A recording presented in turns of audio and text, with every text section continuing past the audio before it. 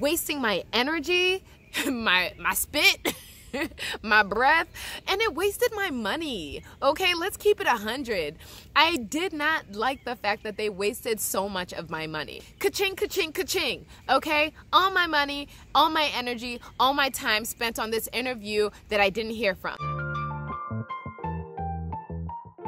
Hey, hey, hey, guys. Thanks for tuning into another episode of JOYrney to Purpose with me, Erica Lasan.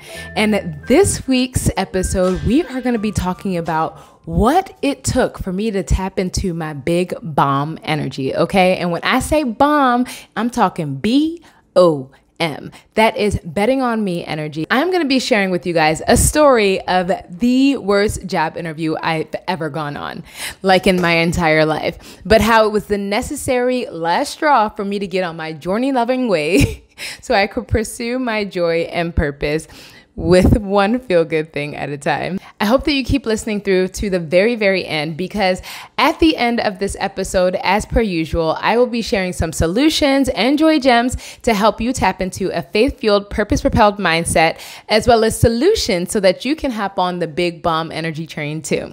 All right. Here we go. So I felt a need to have my gifts and my talents as a multi-passionate creative co-signed. And with this i was constantly looking for a job. Hopping from i don't want to say one job to a next. Really it was trying to find a place that found me valuable enough to pull me on and um, have me be a part of their team full time i went on this interview with this company and it was a mom-centered company. So i thought that they would have gotten it. Like I interviewed for this video producer position. I thought that it was going to be everything that I wanted in a position. It was in New York City. The pay was supposed to be really good. Um, and yeah, yeah, yeah, yeah, yeah, yeah.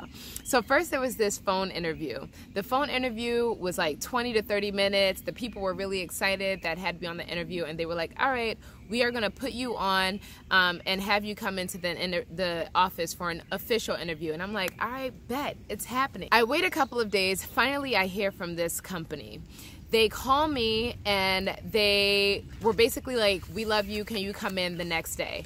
Meanwhile, I'm a stay at home mom. So I'm like, oh, okay, a job is happening. Time to get away from the kids.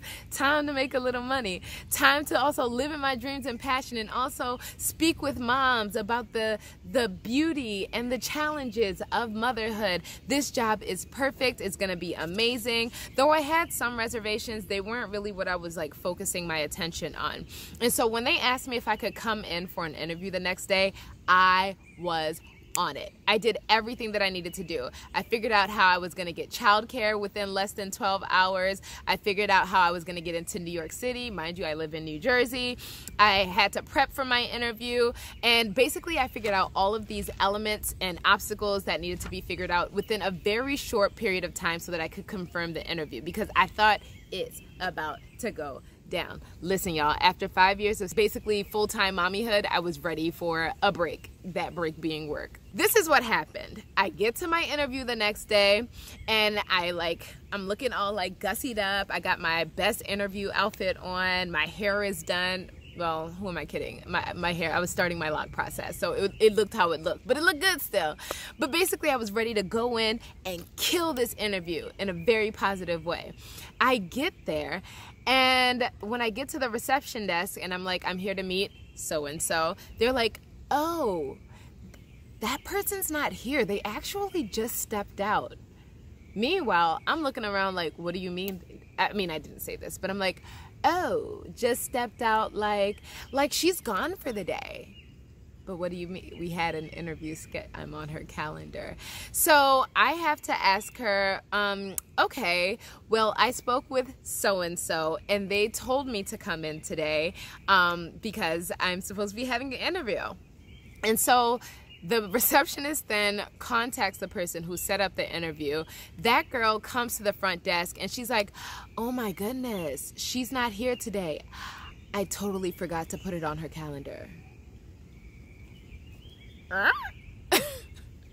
what do you mean you forgot to put it on her calendar? How could you have not put it on her calendar? We had a whole conversation and then she asked me this, y'all, and I kid you not, if you are a if you are a parent that has secured child care, okay, you probably feel me on the feels that I'm about to share with you guys.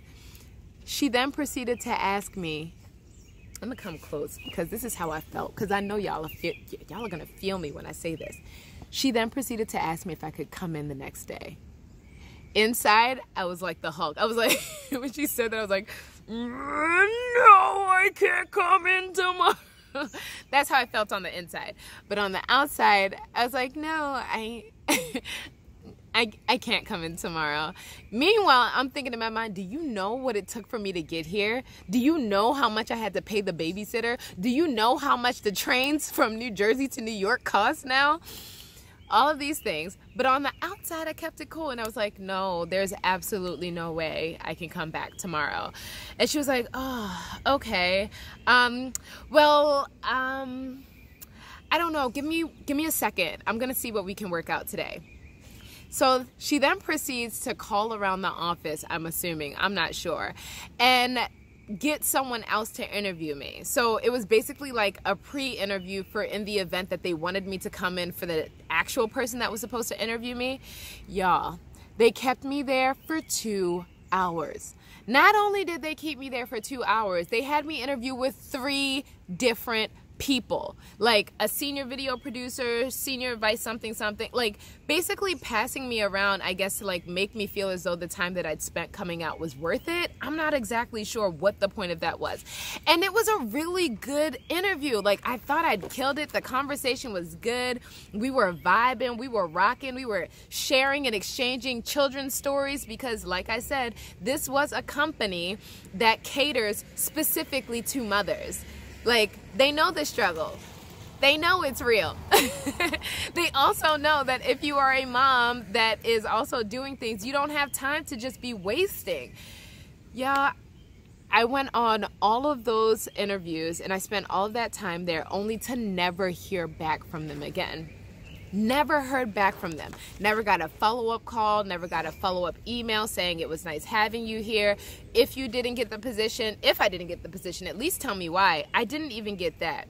And this is the part that really pissed me off. Let me just call it what it was. It pissed me off because not only did I take my time to go out, like, I realized in that very moment that the interview pr- process and searching for a job and trying to get someone to validate my gifts and my talents was not only wasting my time because we all know that looking for jobs is time consuming, but it was wasting my energy, my my spit.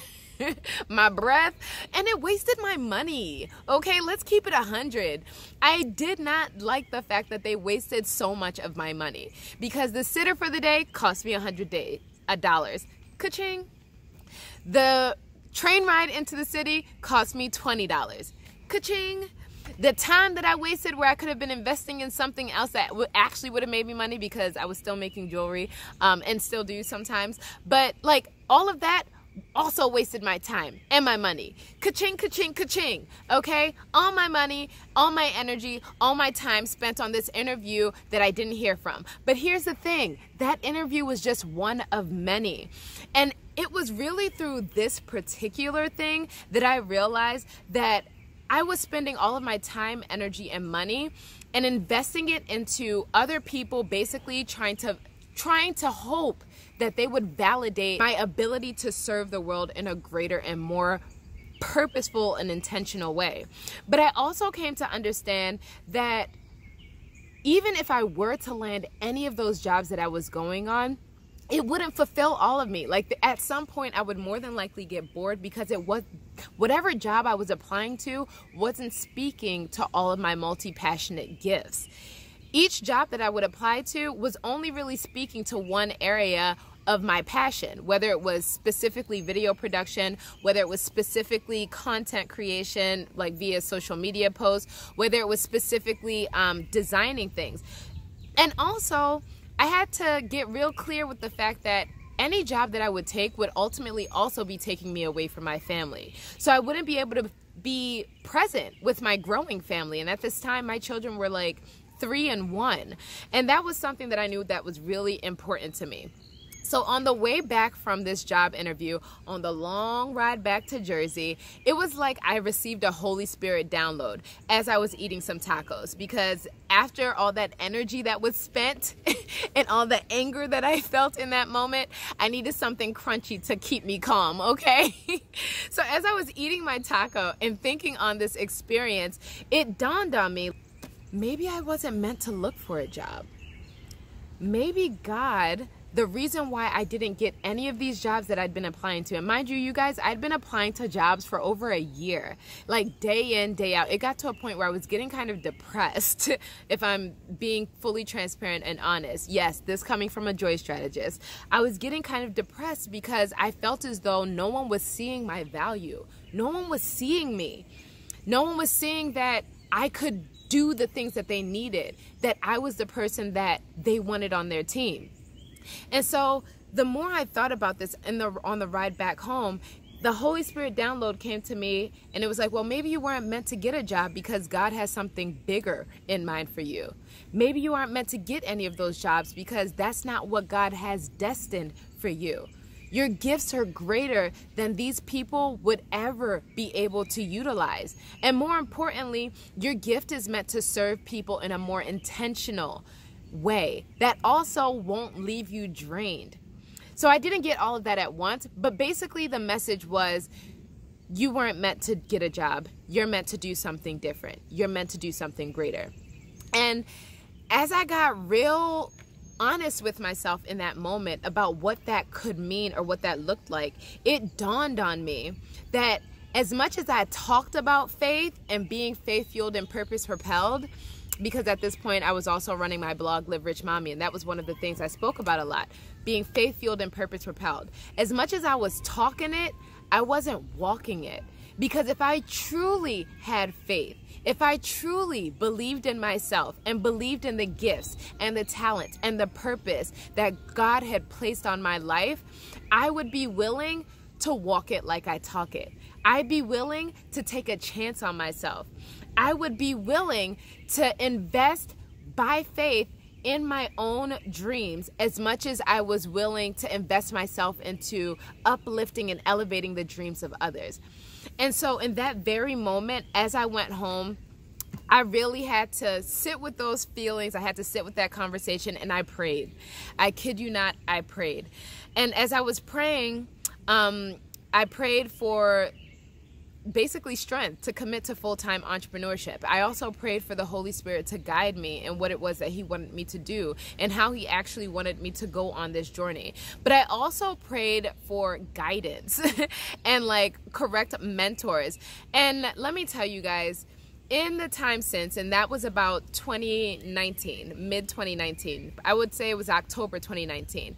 As I did that, the Lord began to show up in really amazing and awesome ways. And it hasn't been easy, but it has been awesome and it's been so fulfilling. One of the biggest things that I've learned through this process and going on this journey to entrepreneurship is the need to invest in myself okay? Which brings me to the tools that i gained like three of the biggest tools that i've gained so far in entrepreneurship and understanding and this is what i promised that i would share with you guys. If you're looking to start a business if you're looking to follow your joy if you are looking to um, live a more intentionally aligned and purpose filled life these are three things that you definitely want to keep your ear on and actually utilize in your life so, um, the first big tool that I gained was basically investing in myself by getting a mentor. Because listen, there is so much that we don't know, we don't know. But on top of that, there's so much that we can learn. And I did a whole podcast episode about investing in yourself specifically and how to invest in yourself. And it doesn't always have to look like spending crazy amounts of money, but you also have to understand that your time is worth something. So if you can get someone who's been there, done that, made the mistakes, and is willing to share them with you so that you don't make those same mistakes, you will get a lot further faster.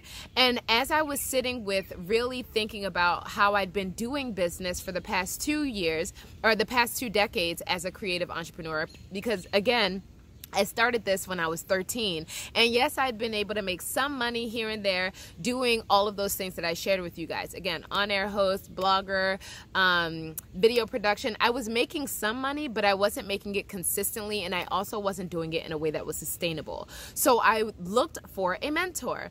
And I found this amazing, amazing, like, y'all, she's the bee's knees. I love her so much. Mentor in Nicole Walters. And so I signed up for her course, and that was a whole Holy Spirit thing as well. Um, I will share that in a future podcast episode, and hopefully you'll be hearing from the lady, Miss Nicole Walters herself, um, if you subscribe to my podcast. So basically, first first tool: invest in a mentor. However, you can get a mentor. If you can, sign up for 1K one day because it's absolutely amazing. That's all I'm going to say about that. The second way that I started to really invest in myself was to start reading books. Listen, y'all, books well, they're not free, but they can be if you go to your local library. Books are a wonderful resource for knowledge and information. And what's more exciting about it is the fact that you can get exactly what it is that you need. There's a book for everything. Books still work. Google is awesome. Yes, Google will get you the things, but also Google's will get you um, the information that was once possessed by experts but they want to share the information with you. So read some books.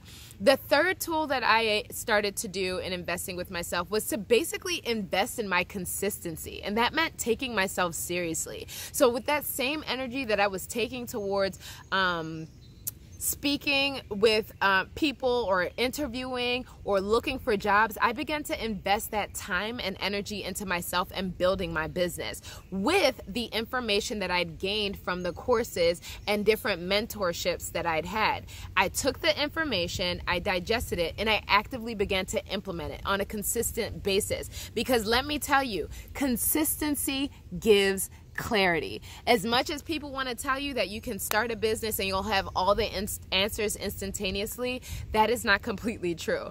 Like, you will gain some answers, but most of that comes in data that you then have to refine and then implement and incorporate, um, put back into the system, and then test again. Like, it doesn't happen overnight okay like i said and this is probably the biggest like psh, moment that i had clarity Clarity is everything.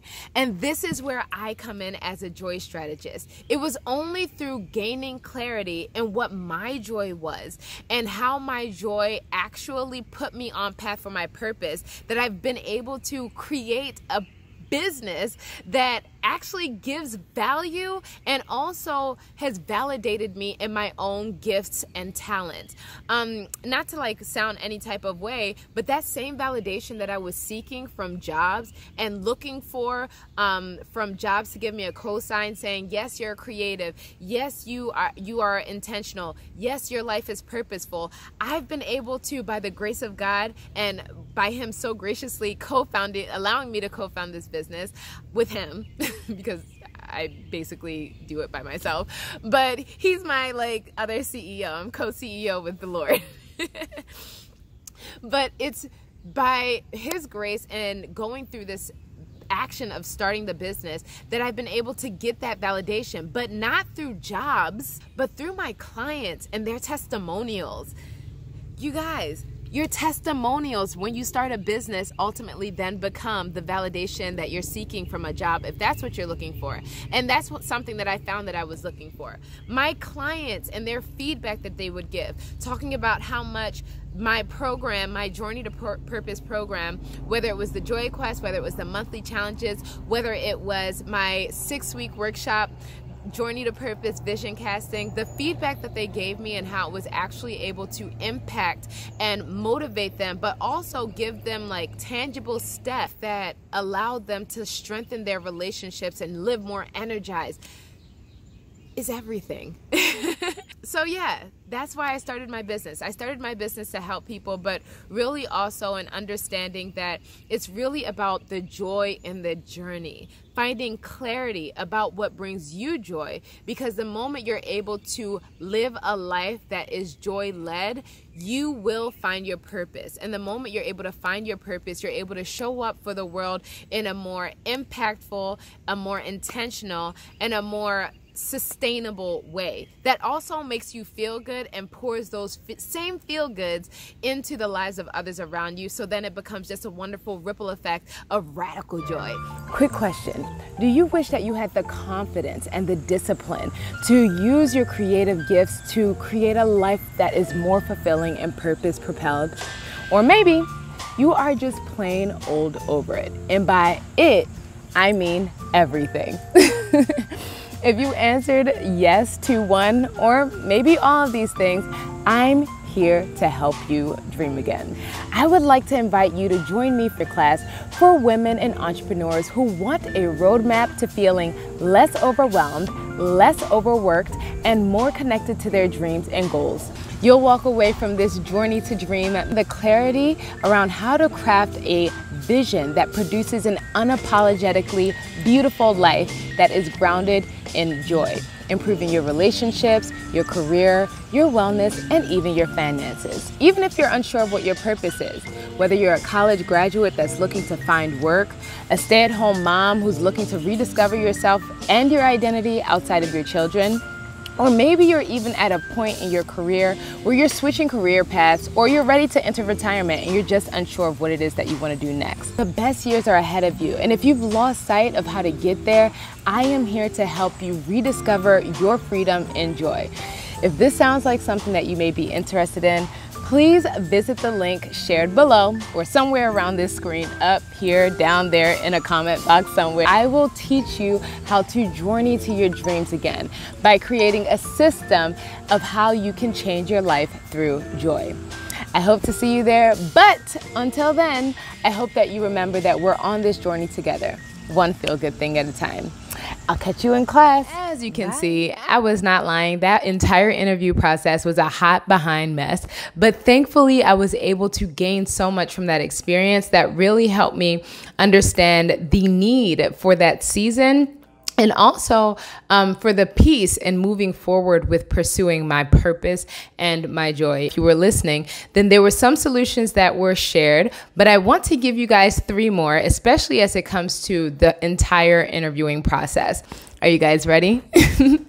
so, the first solution that I want to share with you guys is to have an interview plan. And with this, the idea is to be prepped and ready for when things are ready to pop off. Okay, when all those jobs are starting to call you, as my mentor would say, stay ready so you don't have to get ready. Okay, and this could look a number of ways, but the first thing I would suggest to you guys is to have an interview plan. And with that, know what you're going to be wearing, have your interview outfit ready because nothing stinks more than not knowing what you're going to wear for the interview or showing up in a place where you're not prepared based on what the corporate culture is. You just want to make sure that you are prepped to go.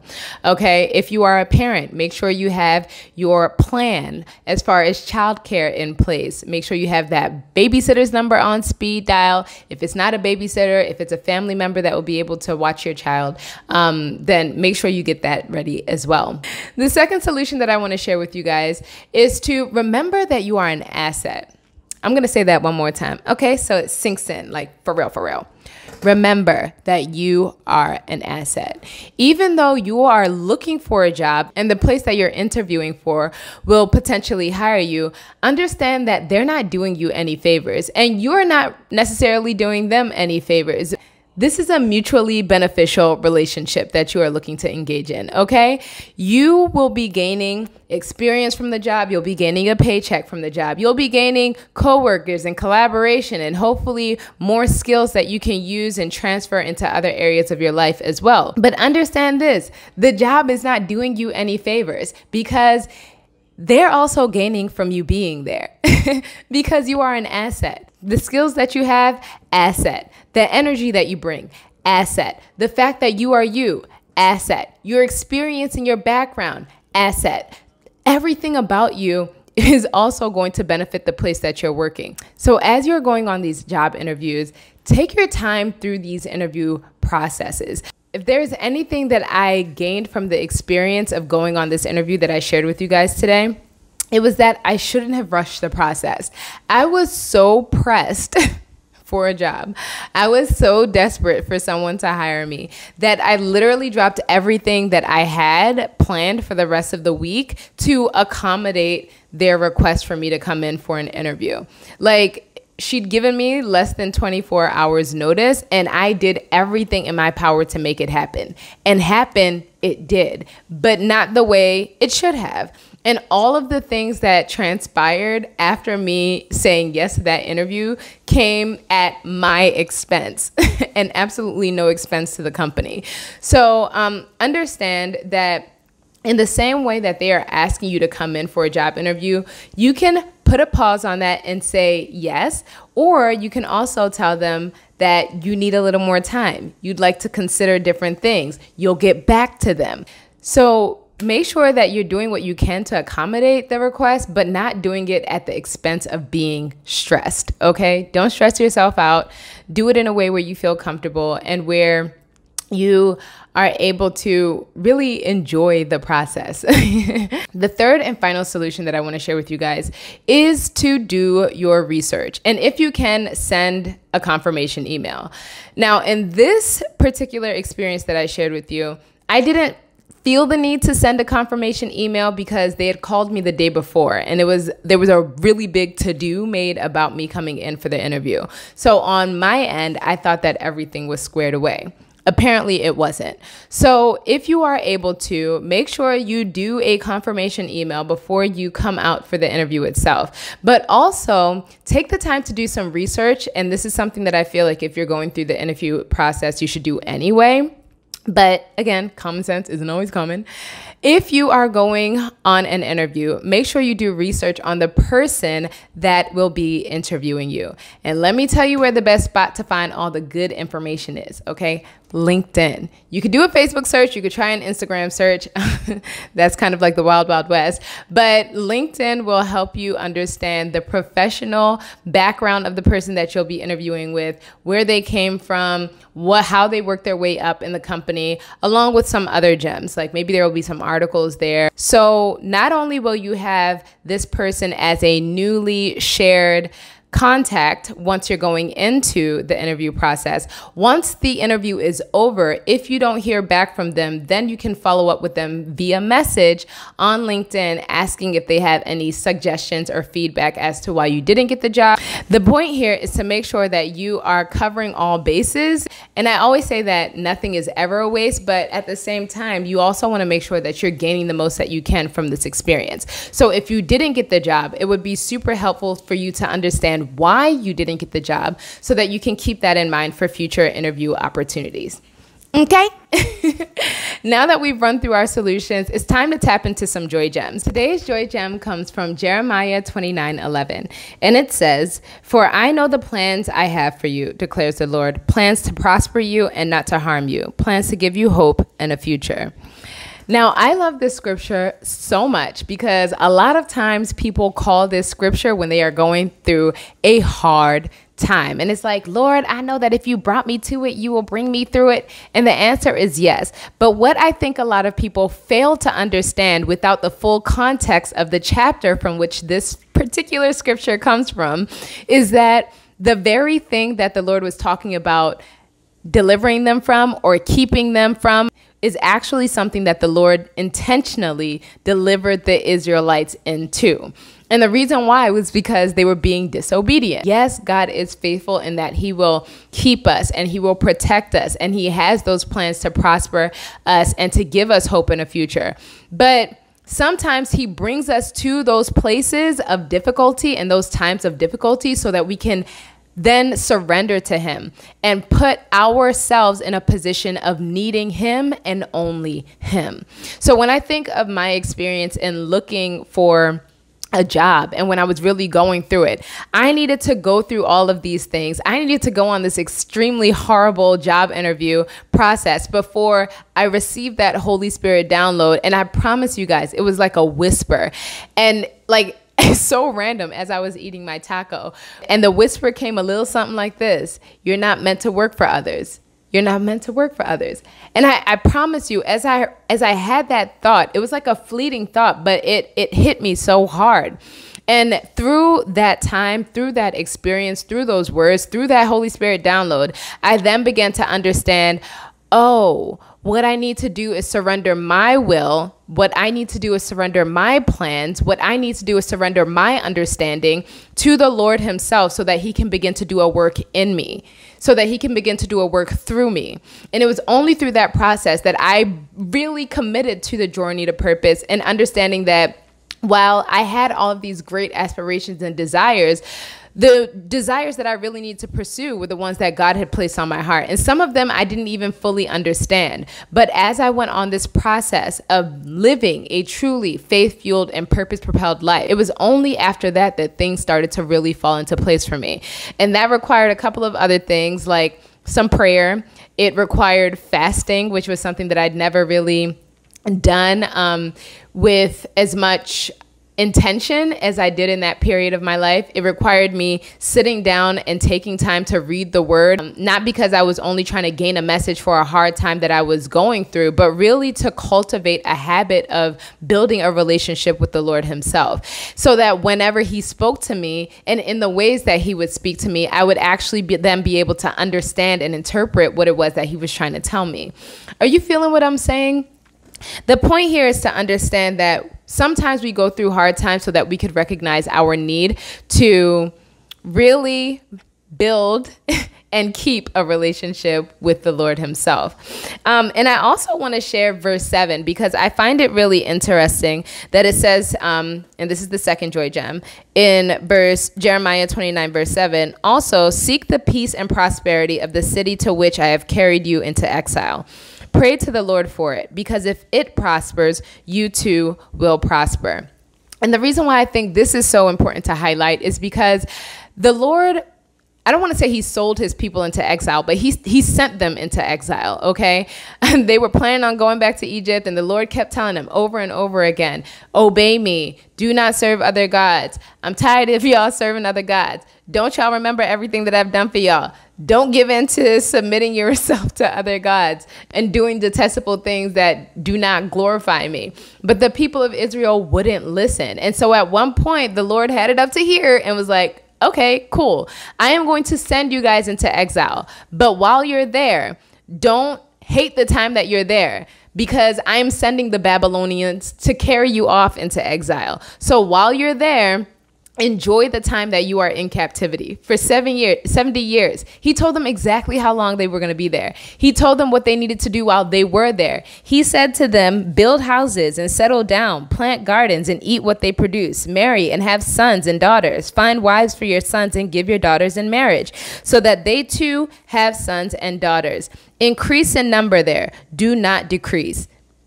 And then he said the seek peace and prosperity bit in the same way that the Lord told this to the children of Israel as they were being carried off into exile, intentional exile by the Lord Himself, when He could have saved them, but He was actually the one that sent them.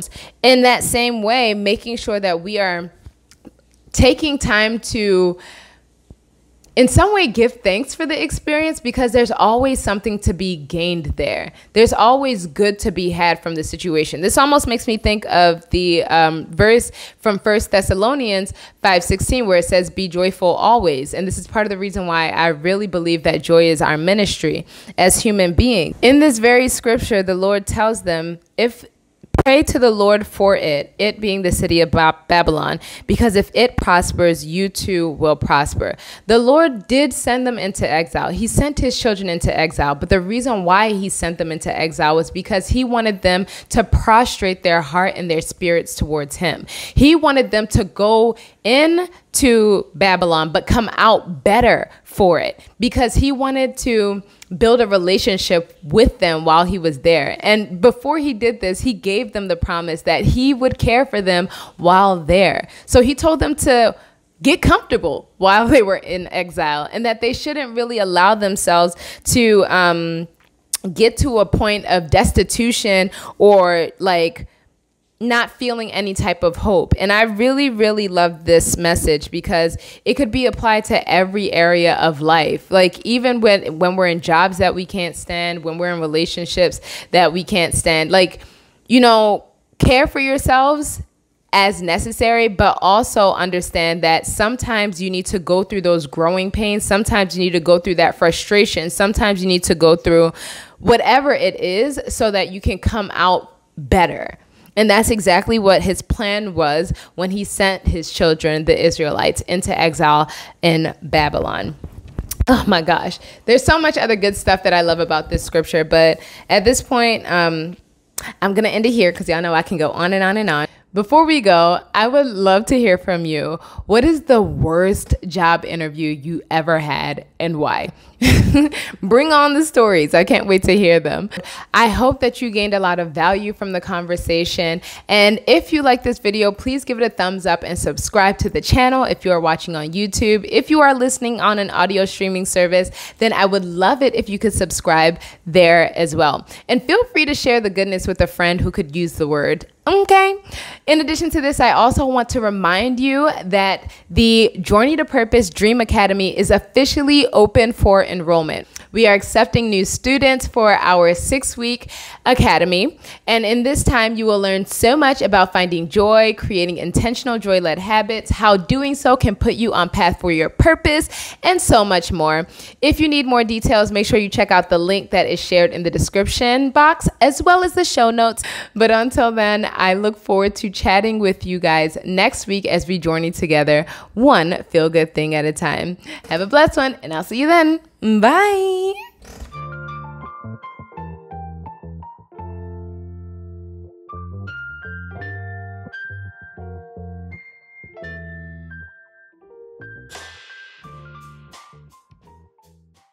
I really like this. I think I'm gonna stop.